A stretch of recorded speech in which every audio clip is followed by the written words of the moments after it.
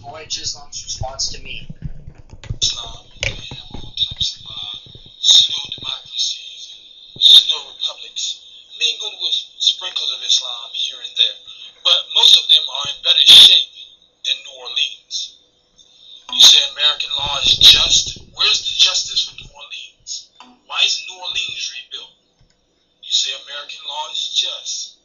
Why is it that African Americans, who represent 15% of the American population, are so overrepresented by 85% of the American prison population?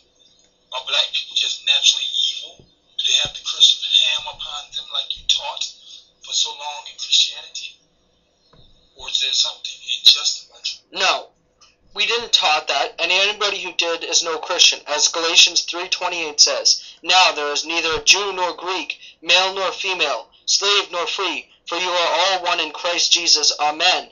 But it is your religion who is against the blacks, because the very first black person in Islam was a person who yelled the prayer every morning. He had, he had to get up and do the call for prayer. And Muhammad said, if you convert to Islam, you'll set, he will set you free. Years later, he was not being set free, and they still wouldn't let, set him free until his death. This is how evil they were.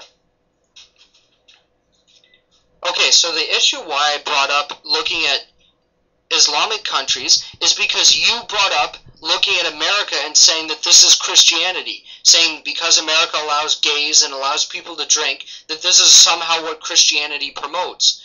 And so I was, do you see your hypocrisy? You're saying, oh, well, you can't look at Islamic countries to judge Islam. I agree, you shouldn't. You should look at what our books say.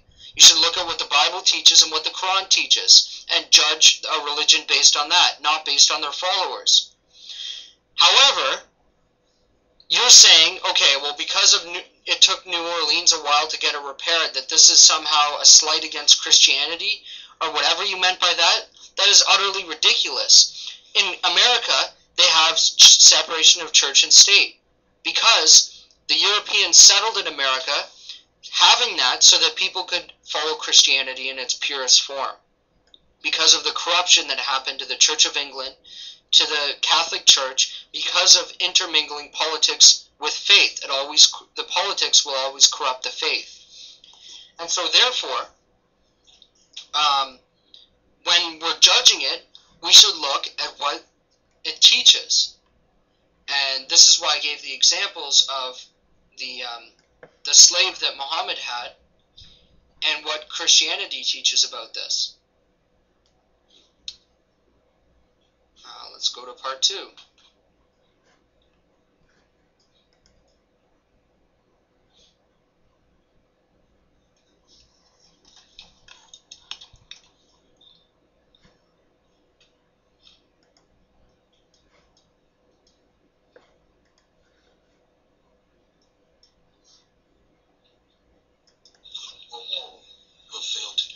Okay, let's look at a few laws that Muhammad broke. Your Quran teaches that you can only have four wives. Muhammad had 13 wives. Um, a moral law that he broke, or actually that your God Allah breaks, is that you can beat your wife when they are disobedient, as 4 verse 34 says. Treating an, a woman as if she's a donkey, as if she's your property, that you could just beat her. In fact, when little Aisha tried to run away from Muhammad's house, he struck her as the as the hadith I gave you in the first video, and beat her, causing her great pain. A little girl he beat, very immoral. Uh, chapter 65, verse 4 of the Quran teaches you how to divorce little girls who haven't had their period yet. That is immoral. That is disgusting. That is filthy. And I gave you examples from the Bible teaching that that is immoral, and that people who do such a thing will not enter the kingdom of heaven. There are examples where Muhammad instigated wars against the pagans in Rome and then ran to the Prince of Ethiopia, a Christian prince, from what they did. Where, he, where in one day he killed over 600 Jews, another day where he slaughtered a Jewish family and killed her, uh, this woman's mother, daughters, sorry, this mother, her mother, her father, her brothers and her sisters, and then raped her in front of their dead bodies. Typical Christian rhetoric. It's as transparent as glass. This is all your religion has to offer. I grew up a Southern Baptist. Don't feed me. Right, I answered all your points about the Bible, showing that you have misunderstood it in every facet. See it. I asked you to give me a moral or secular law that the Prophet Muhammad broke. You couldn't do it. All you could do is talk about the relations that a man had with his wife. Yet, That was your video. Your video was entitled The Young Age of Aisha. So I was responding to the content of your video. you could not give me any biblical verse or legal edit of his time that made it wrong. All you gave me was your own opinion, which means you worship yourself. What? I gave you the verse out of uh, 1 Corinthians chapter 6 and verses 9 and 10 saying how the sexually immoral will not enter the kingdom of heaven. I gave you where Christ said that anybody who um, harms these little ones, it would be better if they had a milestone tied around their neck and they were tossed in the ocean. I also just recently have given you Genesis 24 and verse 15 talking about how the tribal people who didn't even have the law, this was before the law of Moses, knew that it was wrong to molest little girls. Your religion is filth. It is garbage. Stop trying to promote it. Go and live in Islamic countries if you don't like America. We don't want you here. I. You know, even your own Bible, which I do not believe is the Word of God, it talks about men who become worshippers of themselves, and you're worshiping your own opinion because you have not given any specific biblical verse that prohibits the marriage of the Prophet Muhammad. Well, I don't know. I guess you didn't watch my video and you made a response to nothing because I gave you plenty of sources from my Bible. This isn't my book. This is the book of God. I'm not giving my opinion. I'm telling you what it said.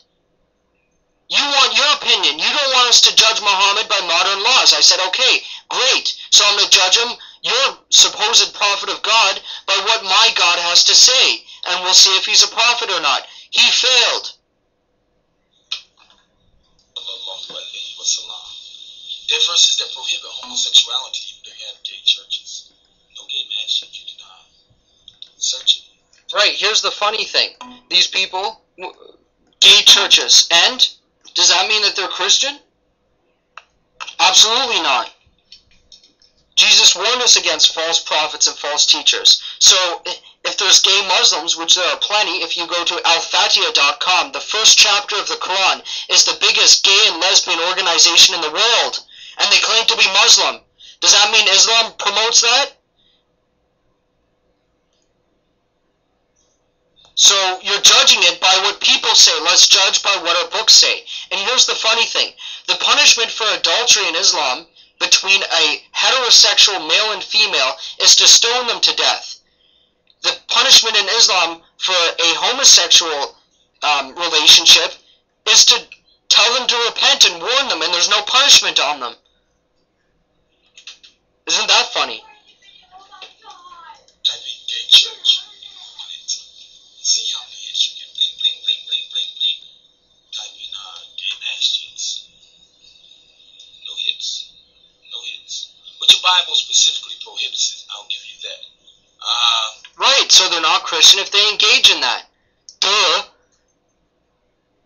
Just like if um, a Muslim doesn't beat his wife who's not being disobedient, means they're not following Islam. Christians don't follow their Bible. If the Christians follow their Bible, then they would be following Luke. Uh, Sorry, what I meant to say by that is if a Muslim doesn't beat their wife when she's being disobedient, it means they're not following Islam.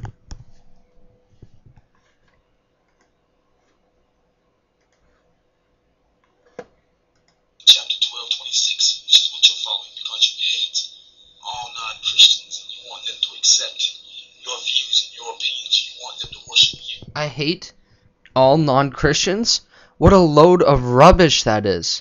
What a bunch of garbage. Jesus told you to to love even your enemy.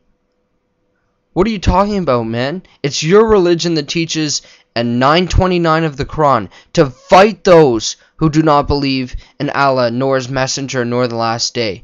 551 and 328 says you can't be my friend just because I'm a Christian. It's your religion that teaches to hate me, not mine.